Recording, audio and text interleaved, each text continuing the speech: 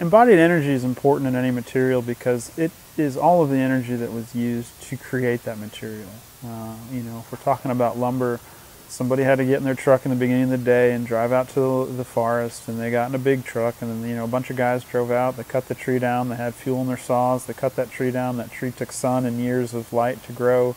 and then you cut it down bring it back you know as you go down that path everything starts to collect energy on that material to get it to where it is you know so if it's a piece of maple flooring or it's a piece of lumber whatever it is by the time you're holding it there's a tremendous amount of effort that went into that uh, you know, obviously modern manufacturing really tries to reduce that energy because energy usually costs money, but you still end up with it.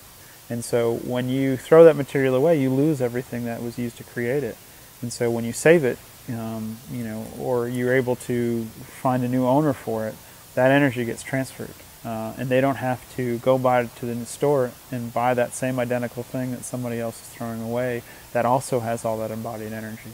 And so that transition uh, really saves all the energy that was put into it.